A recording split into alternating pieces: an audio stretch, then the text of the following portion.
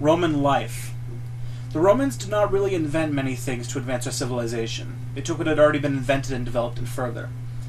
The Roman way of life became well known as Romanitas, everything that had to do with being a citizen of the empire. It was not just an empire, it was a system, a single market, and a union of different lands, sharing a developed way of life. The power of the people. The Greeks created democracy, and the Romans took it further.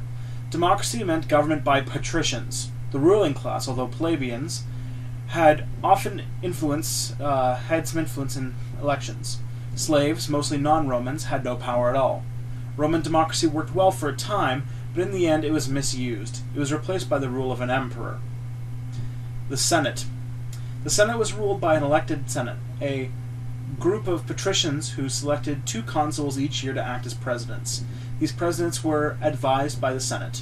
Later, Roman soldiers gained greater power than ordinary people, and consuls became military dictators. After the death of Augustus, Rome was ruled by a succession of emperors who held absolute power.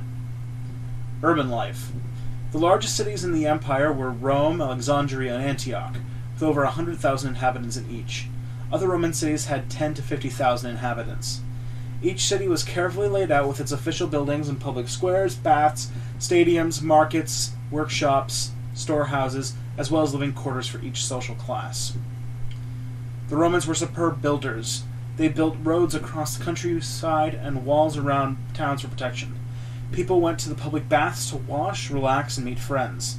There were temples dedicated to gods and goddesses.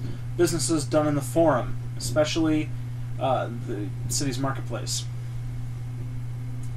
The countryside. As Roman life developed, farms were bought and reorganized by rich city dwellers or awarded to soldiers as estates. Tenants Peasants and slaves did the work, growing produce for sale in the cities. Large quantities of food and materials were transported from the farms to Rome and other cities. In addition, the legions required feeding, so the country estates were prepared for large scale and profitable food production. Wealthy Romans lived in large townhouses.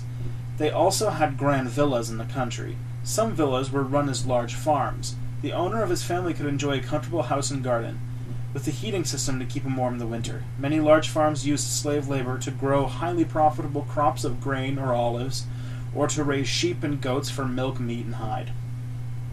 Everyday life. Life in Rome was in many ways similar to city life today. High rise houses, traffic problems, shopping, waste disposal, hustle and bustle were all common features.